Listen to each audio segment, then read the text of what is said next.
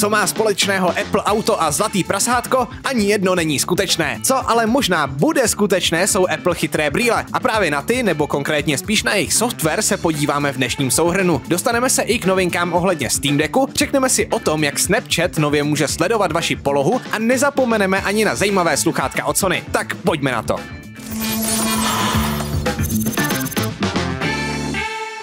O headsetu virtuální či rozšířené reality sdílen Apple se spekuluje už delší dobu. Podle těch nejnovějších informací bychom se ho nejdříve mohli dočkat koncem roku, ale nevylučuje se ani delší odložení z důvodu komplikací při vývoji. Novou zajímavou informací jsou nicméně zmínky o systému Reality OS v GitHub uložištích spadajících pod App Store. Vývojáři na reference upozornili prostřednictvím Twitteru. Šlo o adresář com.apple.platform.realityOS, který je na podobné adrese jako třeba sou současný WatchOS. Podle dalšího vývojáře to znamená, že má Reality OS na App Store vlastní operační systém, binární soubory a simulátor Reality OS. Systém pak čas posledního příspěvku ke kódu datuje na minulý týden. Operační systém by tedy mohl být spuštěn už tento rok, aby měli vývojáři čas na aplikacích pro něj pracovat. První zmínky o Reality OS přicházejí už z roku 2017 ze zprávy Bloombergu. Co se týče zbytku informací o headsetu, tak těch moc není. Jen díky obrázku z mnoha malých úniků z poslední doby tušíme, že se bude jednat o zařízení nevyžadující připojení například k iPhoneu a že by mělo být mířeno spíše na hráče a konzumenty videoobsahu. Carl Pay před rokem oznámil, že odchází z vedení OnePlus a založil firmu Nothing. Firma stihla vydat úspěšná sluchátka Nothing Ear One a tento rok by podle náznaků mohl být i smartphone. Spoluzakladatel OnePlus Carl Pay aktuálně škádlí celý Twitter svými tweety, které naznačují, že jeho firma Nothing spolupracuje se Snapdragonem a že v připravovaném smartphonu bude tepat právě procesor od známého výrobce čipů. Pay například napsal, že se vrací k Androidu a jak si chválí Android 12. Snapdragon pod tuto zprávu přidal GIF vítající ho zpět. Zdroje magazínu 91 Mobiles tyto domněnky potvrzují. Nothing pro tento rok připravuje nejen svůj první smartphone se Snapdragon procesorem, ale i powerbanku. Specifikace obou zařízení však nejsou jasné. Taktéž je otázkou, z jaké řady čipů si Nothing vybere. Firma totiž útočí na nižší ceny, jak jsme viděli u sluchátek. Z minulosti si nicméně pamatujeme, že OnePlus dávalo do svých telefonů převážně ty nejlepší procesory od Snapdragonu, které byly zrovna dostupné. Je tedy možné, že by Nothing nabízel něco podobného, tak jako OnePlus. Pokud se novému výrobci gadgetů všechno povede, mohla by vzniknout další silná značka s opět netradičním jménem, tak jak to má Karl Pay ve zvyku.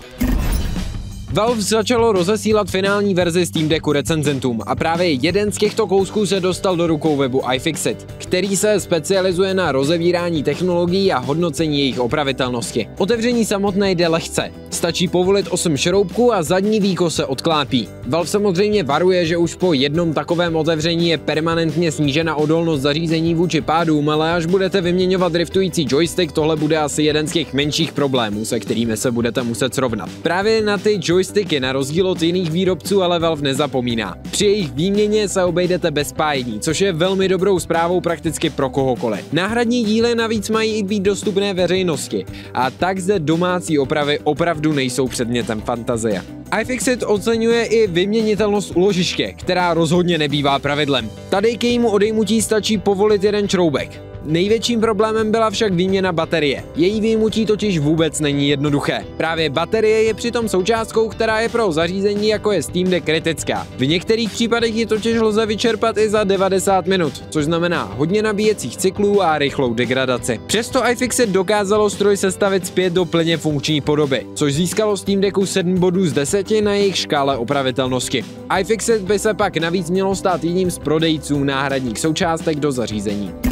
Teď se omlouváme, ale je tu malá vsuvka od našeho partnera této epizody. CZC.cz je jeden z největších internetových obchodů s výpočetní technikou a elektronikou. Pokud scháníte nový počítač a nechcete se zdržovat skládáním, můžete využít nabídky z CZC herních sestav. Vybaveny jsou procesory jak od AMD, tak od Intelu. Zároveň zde naleznete i sestavy z Nvidia RTX 30. řady. Všechny sestavy jsou skladem a začínají cenově už od 15 000. Odkaz naleznete v popisku.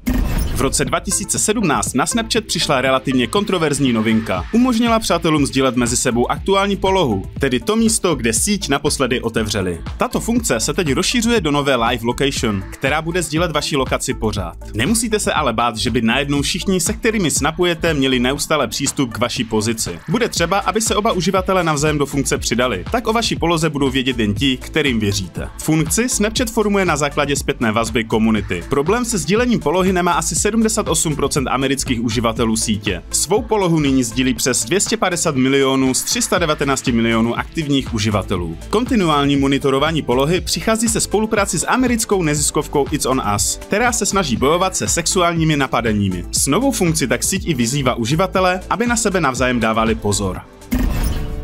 Nabídka sluchátek od Sony se rozrostla o nový zajímavý kousek. Novinka se jmenuje Sony Link Buds a jedná se o true wireless sluchátka s velmi netradičním designem. Výrobce ho nazval spojením Never Off, což znamená, že jde o sluchátka, která je nemusíte vyndávat z uší. Proč tomu tak je? No, za prvé jsou velmi lehká, každé sluchátko váží zhruba 4 gramy, za druhé mají design, který by měl sednout každému. Za třetí jsou voděodolná, tudíž jim nevadí ani pot či déšť a za čtvrté měnič má podobu prstence, takže nemáte ucpané uši. Sluchátka by vám tedy neměly vadit v uších při dlouhém nošení, a to ani při komunikaci s okolím. Linkbuds mají funkci Speak to Chat, která automaticky pozastaví přehrávání, když začnete mluvit. Zmínku si zaslouží také automatická regulace hlasitosti podle prostředí. Na tichých místech se hlasitost sníží a v hluku se naopak zvyšuje. Sluchátka nicméně nemají klasické aktivní potlačení hluku při poslechu hudby, ale jen při telefonních hovorech. O zvýraznění hlasu a odhlučnění okolního ruchu se následně stará umělá inteligence. Přirozený zvuk zajišťuje procesor V1 od Sony spolu se zmiňovaným prstencovým měničem s průměrem 12 mm